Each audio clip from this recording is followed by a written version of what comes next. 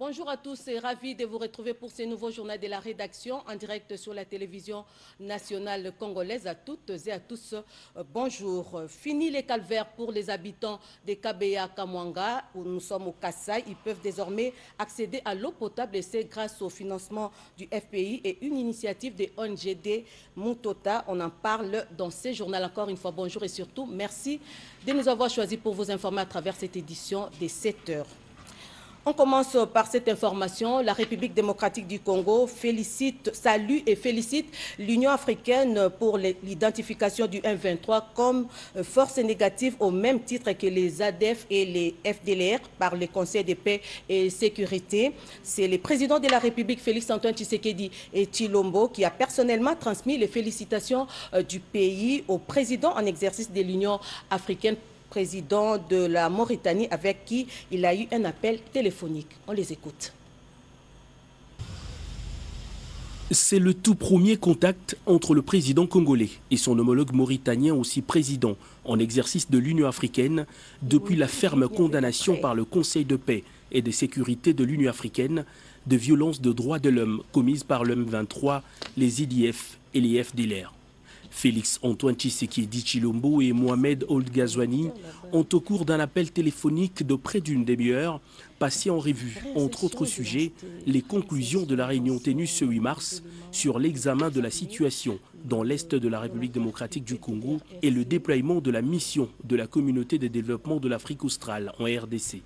Le chef de l'État Félix Antoine Tshisekedi a remercié son homologue pour l'accompagnement de l'Organisation régionale africaine aux efforts de paix dans son pays et pour l'endossement par la Commission paix et sécurité de la position de la RDC en s'appuyant sur l'intervention des forces de la SADC dans l'est du pays. Le président Tshisekedi s'est également félicité de l'identification par le Conseil du M23 comme force négative au même titre que les IDF et les FDLR. Le président mauritanien et président en exercice de l'Union africaine s'est quant à lui réjoui de pouvoir s'appuyer sur l'expérience du président RD congolais qu'il s'est promis de consulter au besoin. Les deux personnalités se sont engagées à se rencontrer très prochainement à Kinshasa ou à Nouakchott. Réinsertion d'anciens éléments de groupes armés, le coordonnateur euh, du PDDRC, Abbé Jean Bosco Bala, s'est entretenu à Goma avec son personnel afin de redynamiser les services et définir les plans, un plan de cantonnement, images et commentaires. À destination de Bukavu, au sud Kivu, le coordonnateur national du PDD-RCS, le professeur Abbé Jean Bosco Bahala, est arrivé à Goma ce dimanche 10 mars 2024. Il a été accueilli à sa descente de l'avion par le coordonnateur provincial d'intérim du PDD-RCS Nord Kivu, Nayambaje Soukissa. À la presse, le coordonnateur national du PDD-RCS a déclaré que lui et son équipe s'activent déjà pour l'opérationnalisation effective de ces grands programmes. Il a également souligné l'organisation des formations des agents à travers toutes les coordinations provinciales. Nous allons essayer de, faire en sorte que la décentralisation soit rationnelle parce que c'est cela peut-être les problèmes qu'on rencontre. Nous allons essayer de faire en sorte que les gens aussi ne restent pas trop longtemps dans des camps, dans des camps de, de, de rendu pour que ça ne nous coûte pas cher inutilement. Il faut qu'on passe aux étapes de démobilisation réelle, de réinsertion économique. Donc nous avons un programme euh, qui doit être effectivement redynamisé et nous sommes en train de le faire. Au Sud Kivu, le coordonnateur national du PDD-RCS vient clôturer l'atelier de formation des agents et cadres du PDD-RCS Sud Kivu et Tanganyika qui se tient à Mouressa sous l'appui technique du PNUD. Mais en marge de cela, nous allons faire un certain nombre de rencontres euh, parce que bientôt, nous allons euh, faire une conférence de haut niveau pour parler de la transition MONUSCO, parce que la province du Sud Kivu sera la première province euh, qui connaîtra le désengagement de la MONUSCO au mois d'avril. Ici est de signaler qu'il a été rejoint quelques minutes après par le coordonnateur adjoint Kapuku William. Autre chose, le caucus des députés nationaux du Grand Katanga pour la législature 2024-2028 s'est réuni à Kinshasa le vendredi 8 mars dernier. C'était en fait pour préparer, comme euh, à chaque législature, l'organisation du bureau des élus de l'espace Grand Katanga, nous dit Anita Luamba. Nous sommes très honorés de vous rencontrer en ce début de la législature dans le cadre du caucus des députés du Grand Katanga. Les élus nationaux de l'espace Grand Katanga conjuguent les efforts à l'unisson pour la réussite de la législature 2024-2028. Cette volonté a été exprimée vendredi au cours d'une réunion de préparation traditionnelle de l'organisation du bureau des élus de l'espace Grand Katanga. Ce moment de retrouvailles fraternelles s'est passé dans une ambiance conviviale pour ces élus du peuple, toute tendance. Une occasion certes pour ces filles et fils du Grand Katanga de se souder les coudes pour le bien-être social de cet espace territorial et du pays dans son ensemble. Le cadre qui abritait cette rencontre de haute portée a été offert par le Premier ministre Jean-Michel Samaloukonde Kenge en tant qu'élu de la circonscription électorale de Kassenga et qui a suspendu son mandat à l'Assemblée nationale afin d'expédier les affaires courantes en tant que chef du gouvernement. Justice, le contentieux des élections est en cours à la Cour d'appel de Kinshasa Matete. Les affaires sont nombreuses et connaissent des fortunes diverses. Le week-end dernier, quelques-unes ont été appelées à la barre. C'est un commentaire signé Edith Chala. La Cour d'appel de Kinshasa Gombe, siégeant en matière de contentieux électoral des élections provinciales, a appelé à la barre plusieurs causes.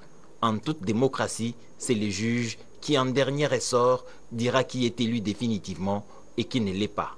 Pour la circonscription électorale de Selembao avec deux sièges, les débats se sont ouverts. Aligné sur la liste MLC, parti ayant atteint le seuil, David Nsala, qui réclame un siège au regard des voix qu'il a obtenues, soit plus de 1400 voix, a fait valoir, au travers de ses avocats, tous ses moyens, notamment les pièces, qui ne sont rien d'autre que les PV à la confrontation avec la Commission électorale nationale indépendante, sa cause semble faire l'unanimité.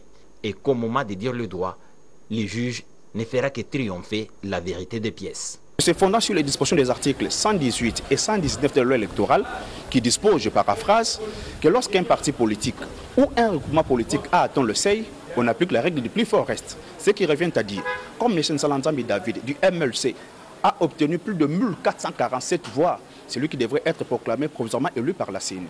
Nous avons saisi la cour d'appel de Kinshasa Gombe afin de pouvoir constater cette irrégularité, ordonner le recomptage de voix afin que le MLC, par le chemin de son candidat Salanzami David, puisse récupérer son siège. C'est les jeux démocratiques et c'est les plus élus qui a droit à un siège selon la loi électorale et ses spécificités. Les mamans et électeurs en général de Selembao ne jurent que sur ça que la cour d'appel de Kinshasa Gombe proclame les mieux élus et David Nsala en est un. Je vous amène au Sénégal, plus précisément à l'ambassade de la République démocratique du Congo à Dakar, dans le cadre du mois consacré à la femme. Une collecte de fonds a été organisée par des Congolais vivant au Sénégal et ce, en faveur de nos compatriotes de l'Est victimes des atrocités de guerre dans cette partie du territoire national. Nicole Sessep, reportage. La communauté congolaise vivant au Sénégal s'est réunie autour de l'ambassadeur Christophe Muzungu pour prier et réfléchir sur les thèmes retenus au niveau national pour cette édition 2024, à savoir accroître les ressources nécessaires en faveur des femmes et des filles dans la paix pour un Congo paritaire.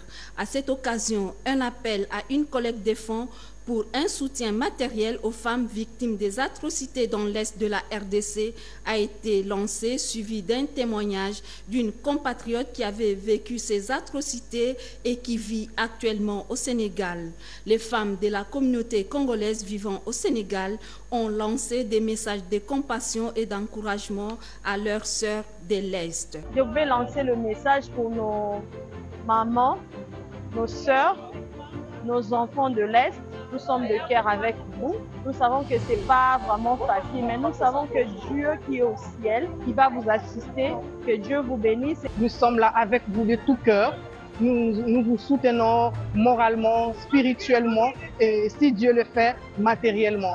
Et par la même occasion, une pièce de théâtre en rapport avec les massacres perpétrés dans la partie est de la RDC a été mise en scène par les femmes de la communauté congolaise vivant à Dakar, au Sénégal. Guerre dans l'Est, les femmes et les jeunes filles sont constamment violées. Le Fonds national des réparations des victimes de violences euh, sexuelles a initié une série de vulgarisations euh, pour condamner cette, guerre. Et à travers les images que vous allez suivre tout à l'heure, Chantal Moulop, conseillère euh, du chef de l'État en charge des violences sexuelles liées au conflit, a interprété l'histoire d'une fille violée. Regardez. Mon nom est Aïcha. Ils sont entrés un soir de juillet dans notre cabane. Ils ont ligoté mes parents devant moi et mes frères. Avant de les tuer, en les coupant les appareils génitaux qui nous ont servi sur une assiette pour manger au risque de subir la même sentence. Qu'avons-nous fait pour mériter cela?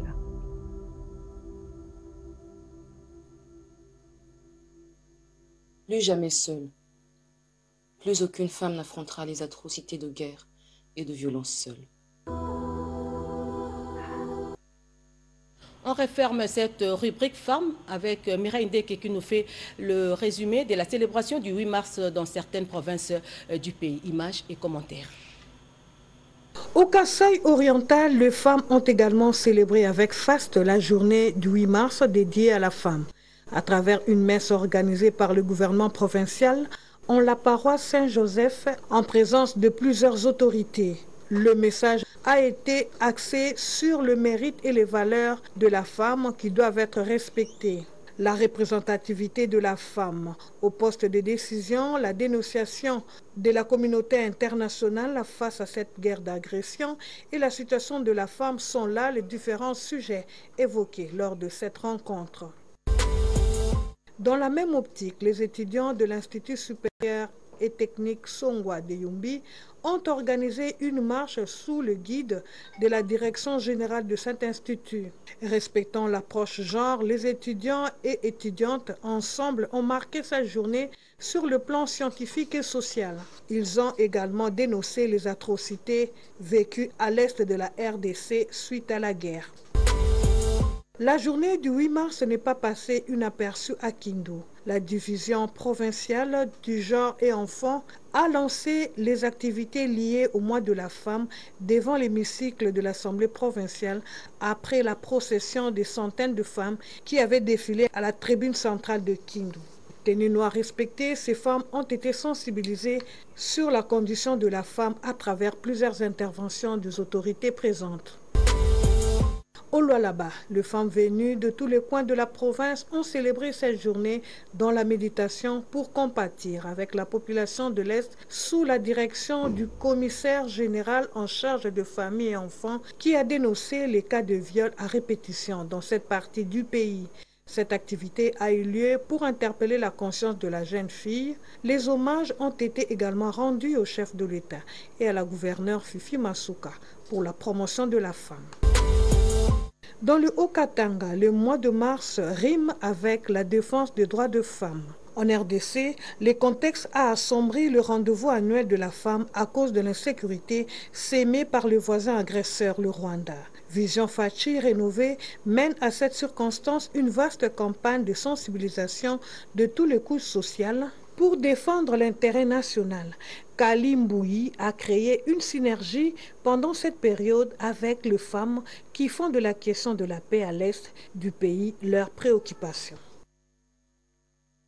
Je l'ai dit en titre, de l'eau potable disponible à Kabeya Kamwanga, nous sommes au Kassai et ce grâce au financement du FPI et une initiative de l'ONGD Motota. Nancy Odia nous en dit un peu plus.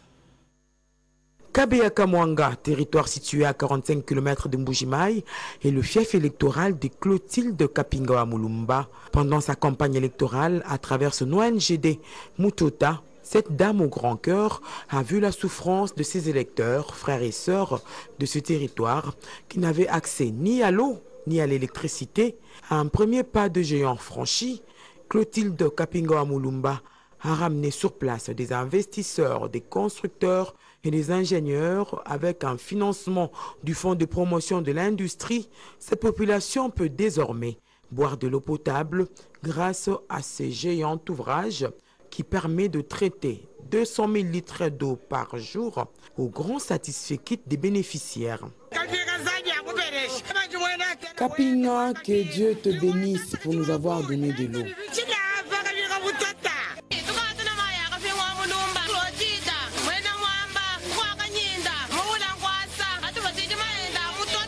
Nous puisons l'eau de Kapinga Wamulumba, l'eau de Mutota.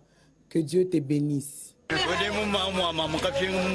Maman Kapinga a envoyé l'eau. L'eau est arrivée à Kabeaka Mwanga. Nous sommes même en train de la puiser. Merci à l'ONG Mutota. La députée nationale Clotilde Kapinga Amulumba prêche également l'auto-prise en charge. Pour cela, l'apprentissage d'un métier, c'est la règle d'or. Elle a érigé à Kabeaka Mwanga un centre qui forme des informaticiens et une radio pour sensibiliser la population sur les changements des mentalités et promouvoir ainsi le développement durable. Revenons dans la capitale, deux nouveaux animateurs à la tête de la Direction générale des corridors de développement industriel, DGCDI, en abrégé. Ces nouveaux dirigeants ont officiellement pris le flambeau de cette structure hier lundi 11 mars 2024, nous dit Yolande Voka.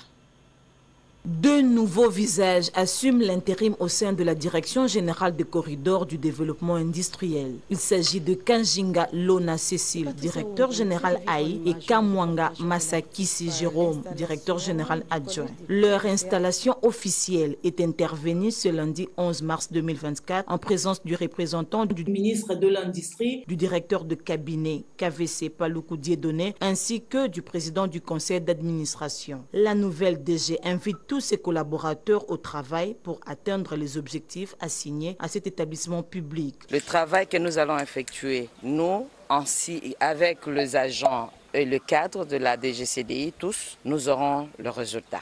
Parce que nous sommes là pour produire les résultats. Je, je ne viens pas avec une magie quelconque. Alors si les choses vont changer, ce serait grâce au travail que nous allons abattre. Il n'y a pas de magie dans ça. Satisfaite, la présidente de la délégation syndicale croit en une parfaite collaboration employeur-travailleur. Cette direction générale qui a été issue de la DGCDI, nos, nos impressions sont bonnes parce qu'ils connaissent bien les réalités que euh, traverse l'établissement public. Nous comptons et nous leur faisons confiance. Nous souhaitons assez qu'il y ait un partenariat solide et fort et nous espérons assez que dans les jours qui viennent, les revendications et, ainsi que les, les des agents euh, trouveront gain de cause. Ces changements à la tête de la Direction générale des corridors du développement industriel est la résultante de la mutation entendue de cette structure. Patricia Oungu nous fait revivre en image le reportage relatif à l'installation du Collège des commissaires au compte. Images et commentaires.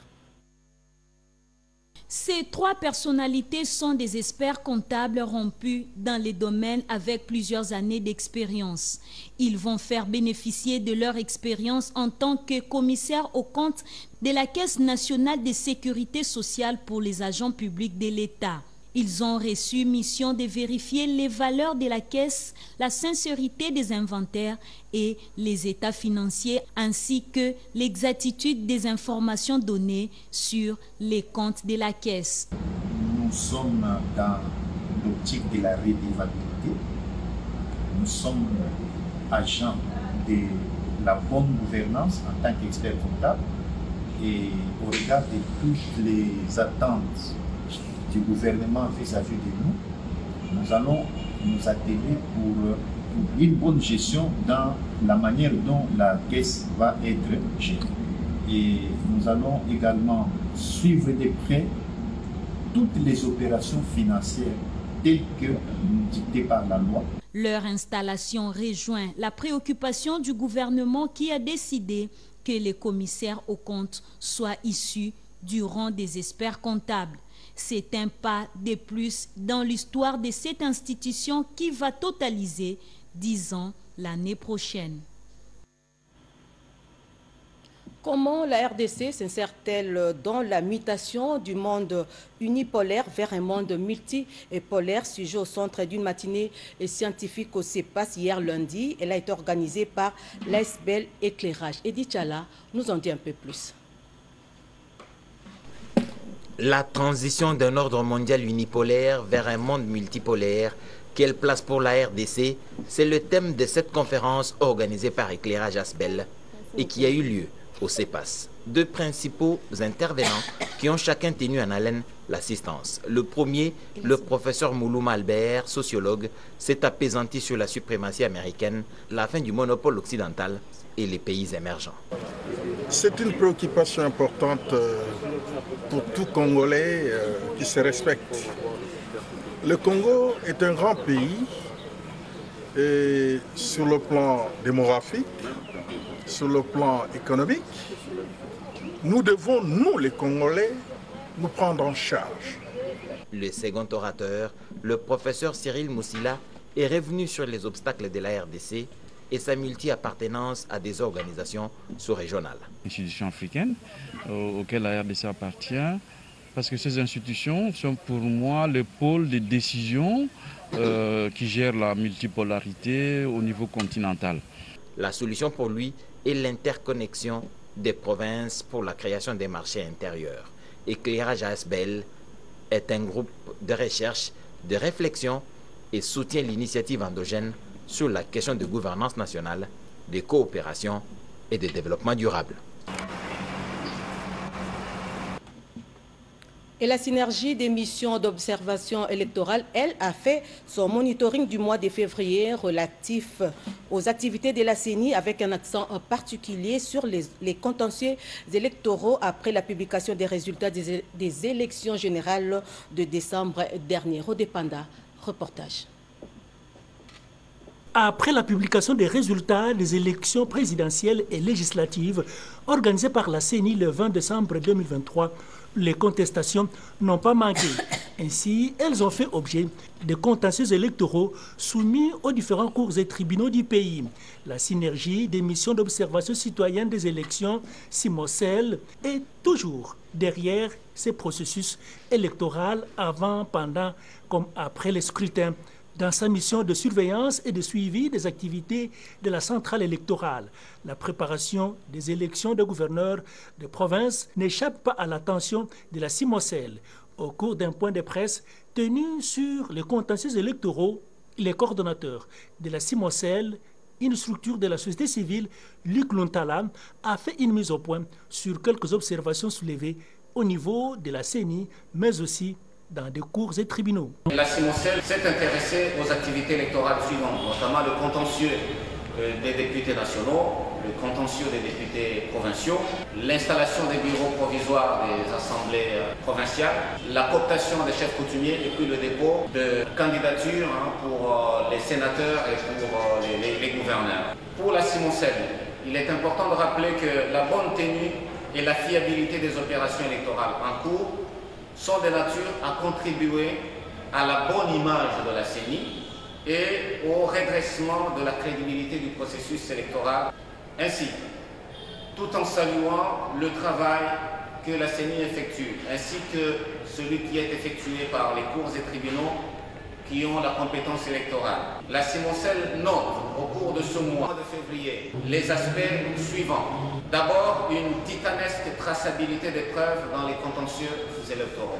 Les dénonciations des substitutions des résultats. 3. La cooptation des chefs coutumiers. Et 4. On observe que les opérations sont vraiment à l'épreuve des trois principes majeurs, le principe de la légalité, celui de l'égalité et celui de l'indépendance de la CENI.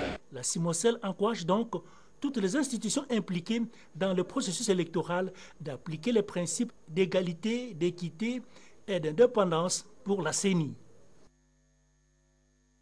Sous peu, la remise à niveau en fonction en finances publiques des agents et cadres du ministère du Budget. Une délégation des experts belges a rencontré le secrétaire général au budget pour discuter sur la mise en place des modules de formation. Bobo Koukou, reportage.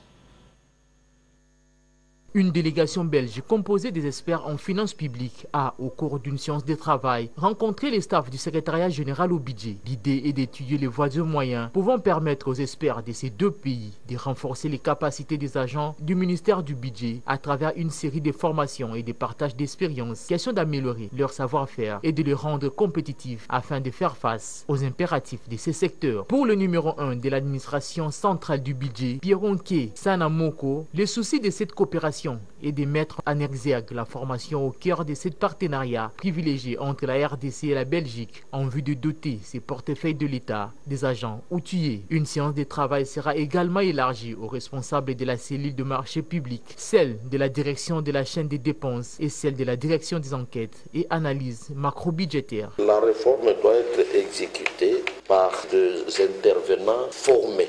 Et cette réforme avec le budget programme, ça ne va pas s'arrêter seulement dans la ville-province de Kinshasa, mais il faut qu'il y ait des personnes formées qui seront des formateurs jusqu'aux ETD. À la délégation belge de saluer ces partenariats gagnant-gagnant, visant essentiellement à mettre les agents et cadres de ces ministères à une vitesse supérieure. Le dispositif, c'est deux experts, un expert fiscalité, un expert dépenses. Ils sont pour l'instant basés au COREF, mais qu'on veut voir travailler de plus en plus avec les administrations, et la vôtre ce qui concerne Charles Coste. Et puis il y a aussi un, un fonds d'études et d'expertise de l'ordre de 5 millions d'euros qui va permettre de financer des études, des expertises, des formations, des ateliers, des voyages d'études. C'est très brièvement décrit, c'est le dispositif de cette intervention. Un pari gagné pour le secrétaire général au budget, lui qui fait de la remise à niveau des agents et cadres de l'administration publique du ministère du budget son cheval de bataille, conformément à la vision du chef de l'État Félix-Antoine Tshisekedi Chilombo dans son volet administratif.